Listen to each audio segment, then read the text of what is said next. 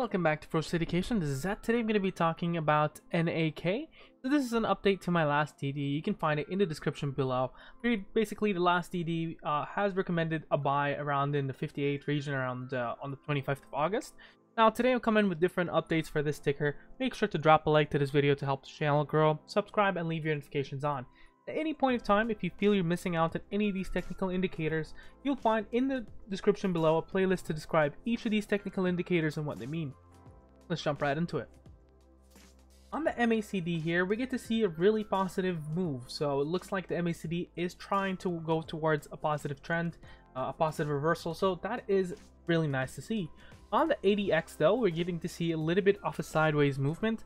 Meanwhile, that might be a little bit of a rough sign, but it doesn't, it's nor bullish nor bearish. Now, William percent R is sitting in a neutral. It does go oversold for quite a bit, uh, for instance, on the 3rd of September. So it has gone oversold for a bit, for a little here and there. The stock price is now above the 200 SMA, which is a bullish sign, and I'm moving in a little bit closer. 30 EMA is above the 10 SMA. That is bearish, and the stock price is uh, below the 50 SMA. Meanwhile, that is bearish. We have to keep in mind why it dipped down. We're talking about something from around $1.50 down to almost 60 cents. Now, it did reach out almost 100% back up to around $1.22 from 60 cents. Meanwhile, that is an amazing improvement, but I do think that there is a lot to consider about this one here.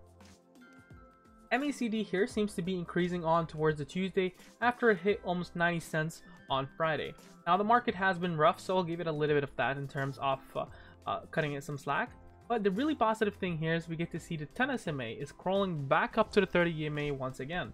That is a really nice sign.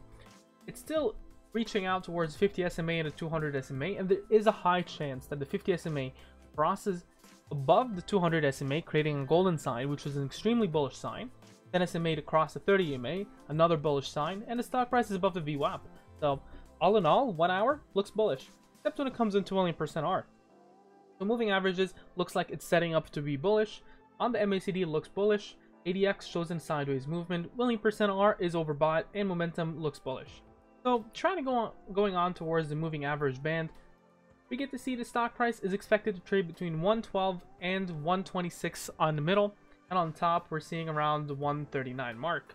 Moving on towards Fibonacci retracements to try to identify what the significant resistances and supports are, I'm going to go back uh, for quite a bit, almost, um, let's say, down to around here, around the, where the 35 cent mark was.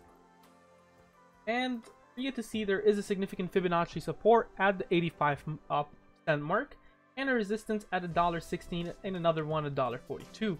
Now, we need to identify significant resistances and supports. So, for this, I'm going to be outlining first the supports. So, we get to see there is a significant support at the $1.01 and then below that, we get to see at the dollar uh, 98. And then below that, we get to see at the 91 cents. And then a significant one at the 89 cents mark. And then one at the 84 cents mark. One at the 79 cent mark. And then another one at the 72 cents mark.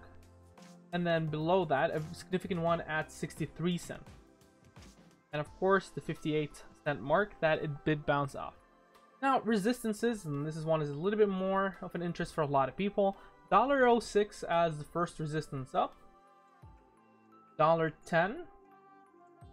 $1.19. $1.23. $1.29. $1.35. $1.42. So $1.42 uh, all the way down to $1.35, I would say dollar $1.34, 35 is a significant resistance. And you get to see there is a little bit of a jump there, or sorry, a little bit of a drop that was caused. Uh, and the question is whether it does see around that mark again. So let's try to look in terms of news. Right, this one here, institutional buyers seems to be a little bit scared to touching it. Uh, last one was Blackstone, basically decreasing a little bit of position in one of the funds, but Toronto Dominion Republic has around 410,000, uh, sorry, 410,000 shares. That is amazing for us. Now, going on towards this very much politicized uh, mine. And this one, we know back around, I think, 2014 when we thought this one was dead, but it rolls out from the ashes once again, and that is kind of the expectation. So I'm going to go through a little bit off the last PRs on this one. The U.S. Army Corps of Engineers sent a letter to Pebble Partnership outlining their expectations. And I'm going to skip here. The letter received today was a normal letter permitting process that we are all in effort to present a mitigation plan to the USACE that complies with the requirements to, of their letter. A clear reading of the letter shows it's entirely unrelated to the recent tweets about the Pebble Mine and one-sided news shows. The White House has nothing to do with the letter, nor its chosen stopper described by several of the news media on the weekend. So it does not delay or pause the permitting process, it just clearly states that it's continuing to work towards the record of decisions. And that was way back at the 24th, that's where the stock plummeted um, after the news and the PR came out. So the next thing, this one was out on the 31st, so not far ago, just around a little bit uh, less than a week ago. Um, we have confirmation of what we know sometime. The policy position regarding the Pebble Mine came directly from the Alaska District, and it is exactly what we have been telling the media of the shareholders all week. There is a path forward for the Pebble Mine, and we are working, uh, uh, we're working our way along it. Another way to look at this is that we were look we were working before the Monday letter, and we are continuing our work today. And so is the USACE project team. We understand that the letter on wetlands mitigation was the operating document for the next steps in the process, but we're glad that a senior department official has clarified for others who don't understand the permitting process nor read the actual EIS. Well, looks like someone is mad and they're throwing a little bit of shade. Let's move forward. Well, and then this is this one is on um, 31st as well. Quite frankly, it is astonishing to watch how quickly the news media and other irresponsibles jumped on the bandwagon to report the project has stopped, even when repeatedly told it has not.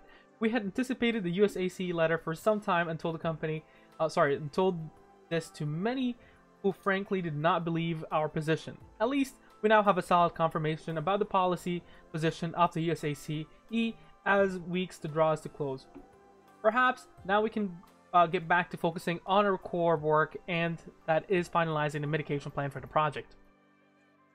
And the last, one of the last things on September 3rd, uh, basically they, they very, very pleased to uh, have the investor relations executive Mike Caliber and experience to join the team.